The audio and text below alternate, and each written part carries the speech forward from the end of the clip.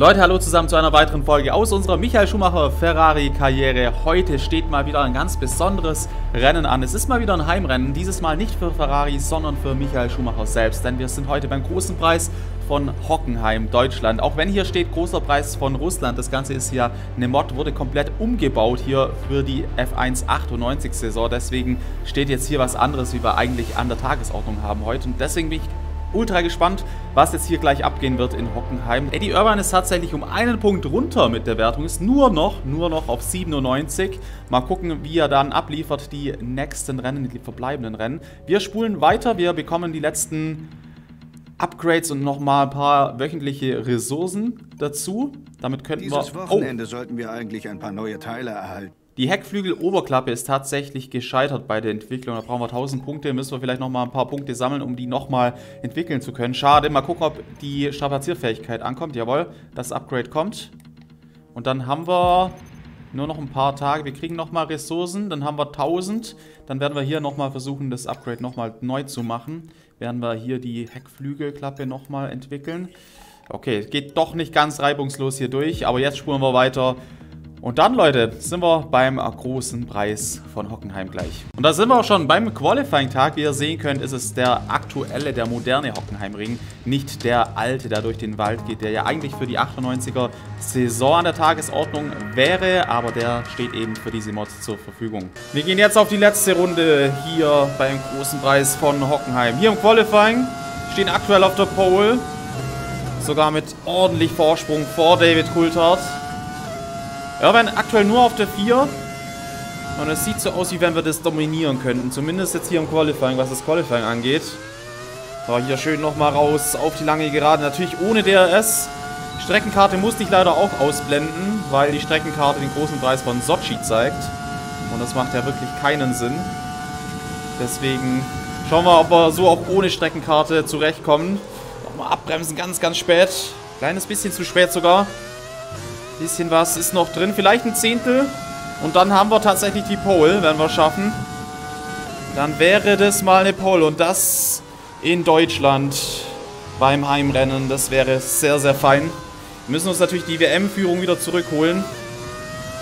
Bisschen verbremst, bisschen vertan in der Rechtskurve. Aber da kriegen wir noch ein bisschen was aus der Runde raus. Nochmal grün. Die letzten paar Kurven in dieser Qualifikation. Komm schon.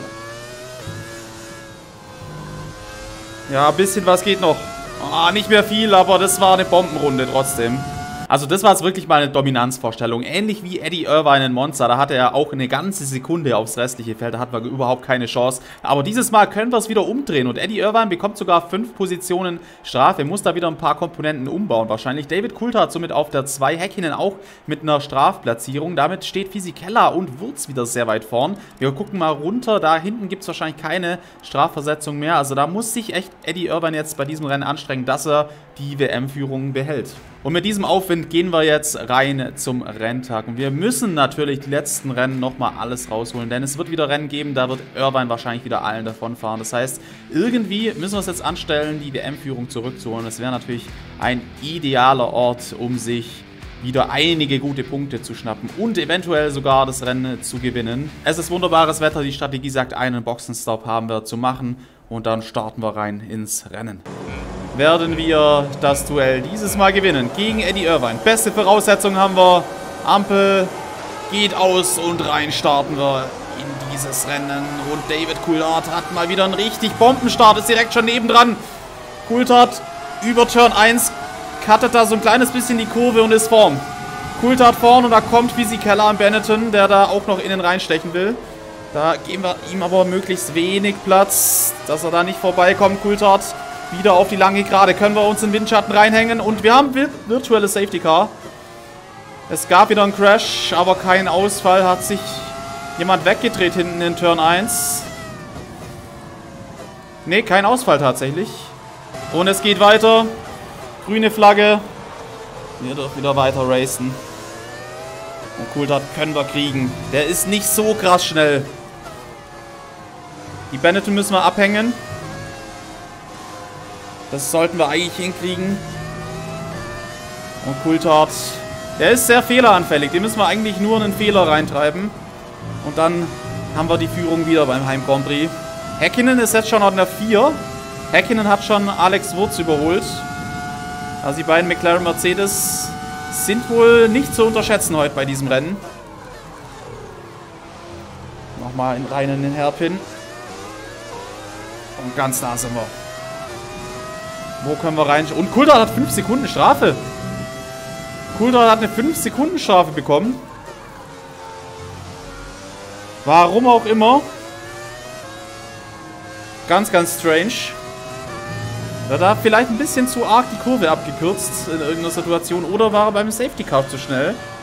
Beim virtuellen Safety Car vielleicht zu schnell gewesen. Das ist die einzige Erklärung eigentlich, die es dafür gibt, für die 5 Sekunden. David Coulthard lässt trotzdem fliegen. Hat jetzt die schnellste Runde hier rausgehauen. Der S wird jetzt hier angezeigt. Ist aktiviert, haben wir natürlich nicht. Auch hier in Hockenheim natürlich nicht im 98er Auto. Und wir müssen einfach nur jetzt dranbleiben an Coulthard.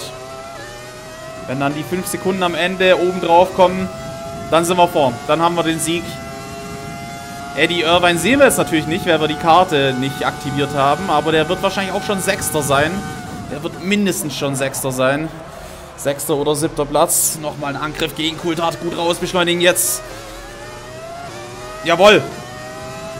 Boah, die Sonne ballert hier richtig rein. Man sieht hier kaum die Strecke, aber wir sind vorbei. Wir sind vorbei an Kultat. Haben uns die Führung zurückgeholt und jetzt müssen wir Gas geben. Jetzt Gas geben. Der erste Stint, bevor es dann zu den Boxenstops geht. Wir haben nochmal virtuelles Safety Car. Alex Wurz hat eine 5-Sekunden-Strafe bekommen. War da wohl ein bisschen zu aggressiv im Zweikampf gegen den eigenen Teamkollegen. Nochmal müssen wir ein bisschen verlangsamen, um da nicht auch noch eine Strafe zu kassieren. Nochmal erster Gang, Haarnadelkurve.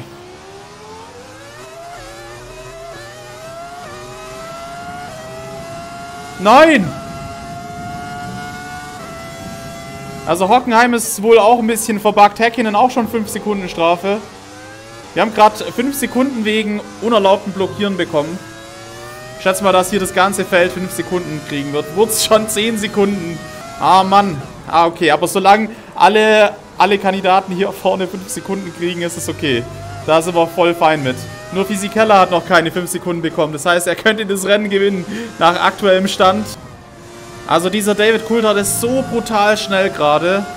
Runde 7 haben wir erst. Wir führen zwar immer noch das Rennen an, aber schaut mal, wer dahinter David Coulthard ist. Da ist schon Häkkinen.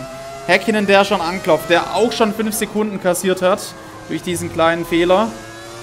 Das heißt, die Benetton haben als einzige... Ah, Irvine hat auch noch keine 5 Sekunden bekommen, ist auf der 5. Irvine schon auf der 5. Unsere Boxencrew sagt, dass wir uns so langsam jetzt an einen Boxenstopp denken sollten. Coulthard muss jetzt aber erstmal gegen Häkkinen verteidigen. Das ist sehr super krass, wie strong Häkkinen wieder ist in dem Rennen. Das heißt, wir müssen jetzt gucken, dass wir vielleicht bald in die Box fahren. Bald in die Box, um die 5 Sekunden direkt auch absitzen zu können. Und einmal auftanken, einmal neue Reifen holen. Also Irvine wird da wahrscheinlich an Physikeller vorbeigehen können. Das sollte eigentlich kein Problem sein. Zumindest nicht über die Renndistanz. Und Häkkinen ist jetzt beim Boxenstopp. Und ich schätze mal, dass David Coulthard auch reinkommen wird direkt. Zum ersten und einzigen Boxenstopp hier. Das heißt, jetzt nochmal Gas geben, jetzt für die eine In-Lab-Runde. Das wäre krass, wenn das Häkkinen gewinnt. Und wieder virtuelles Safety Car. Und das hilft Häkkinen jetzt. Rein geht's in die Box. Aber David Coulthard ist weitergefahren. Coulthard ist weitergefahren. Können wir jetzt die 5 Sekunden absitzen? Schätze schon. Irvine halt ohne Strafe bisher. Ah, das ist super ärgerlich. Was macht denn da die Rennleitung immer bei diesen Rennen? Also die Rennleitung macht es auf jeden Fall spannend in dieser Saison. Wir fallen zurück auf Platz 8, 9, 10, 12. Verstappen auch 10 Sekunden Strafe. Junge, das ist ja komplett Chaos. Wo ist Häkkinen jetzt?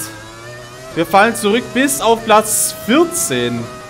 Und jetzt ist Eddie Irvine an der Box. Jetzt ist natürlich die Frage, wer kommt jetzt alles rein? Es müssen eigentlich einige jetzt hier zum Boxenstopp kommen. Also Salo kommt nicht rein. Mika Salo müssen wir jetzt eigentlich überholen, dann auf der langen Geraden. Wo ist, wo ist Irvine? Wo ist Irvine? An Salo gehen wir jetzt außen vorbei. Und Irvine hat doch Zeit verloren. Irvine ist nicht vorbeigekommen. Er war da zu weit weg. Auch wenn wir die 5 Sekunden hatten, sind wir jetzt zumindest vor Irvine geblieben. Sind jetzt auf Platz 8. Marc Genie auf der 6 muss auch noch zum Boxenstopp. Äh, Jos Verstappen muss auch noch rein. Hat aber 15 Sekunden jetzt schon Strafe. Also ich weiß nicht, was die Rennleitung mit Jos Verstappen vorhat.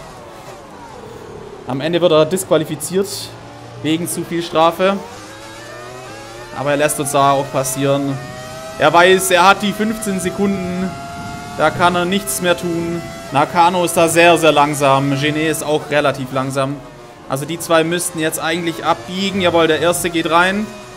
Marc Genet abgebogen in die Box. Das hat jetzt einiges an Zeit gekostet, leider. Villeneuve ist auch zum Boxenstopp gefahren. Gehen nochmal einige Plätze vor. Nakano jetzt auf der 2, den überholen wir jetzt aber außen. Ah, das ist so krass, wie wir da easy vorbeikommen an den langsameren Autos. Da ist der Ferrari so overpowered. Haben wir gar kein, gar kein Problem. Und Frenzen führt. Wo ist Coulthard? Coulthard hat auch 5 Sekunden absitzen müssen. Er ist 2,7 Sekunden weg. Also die Punkte, die müssen wir mitnehmen. Und wieder 5 Sekunden. Wieder 5 Sekunden. Das ist so richtiges Roulette heute mit den Strafen. Einfach aus dem Nichts bekommst du die 5 Sekunden. die richtige Reihenfolge ist wieder hergestellt, nachdem jetzt auch Frenzen in der Box war. Und wir müssen jetzt die 5 Sekunden rausfahren. Ah, ist das ärgerlich. Wenn das Spiel eigentlich denkt, man fährt den Russland Grand Prix in Sochi und wenn man in einigen Kurven halt lenkt, wo eigentlich eine Gerade ist, dann denkt das Spiel wahrscheinlich, dass man gerade angehalten hat auf der Strecke. Das ist ja super krass. Und Häkkinen auch nochmal 5 Sekunden. Die Rennleitung äh, wirft mit den Strafen um sich. Wir sind jetzt in Runde 20 und David Coulthard ist ganz nah dran. Super schnell der Kollege. Irvine auch schon auf 3 Sekunden rangefahren. Und jetzt sind wir natürlich echt in einer blöden Situation. Häkkinen hat aber auch schon 25 Sekunden Strafe. Also die Rennleitung scheint irgendwas gegen Häkkinen zu haben. Da ist Coulthard dahinter, Häkkinen. Geht Coulthard jetzt das Manöver in die erste Kurve? Nee, schafft er nicht.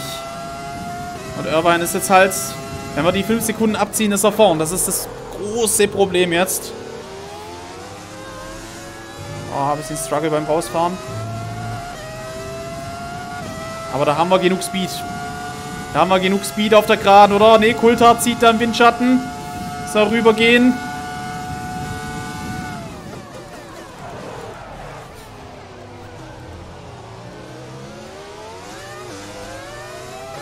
Wow. Nochmal vorbei an Coulthard. Oh Mann, das ist jetzt auch ungünstig. Ungünstige Situation.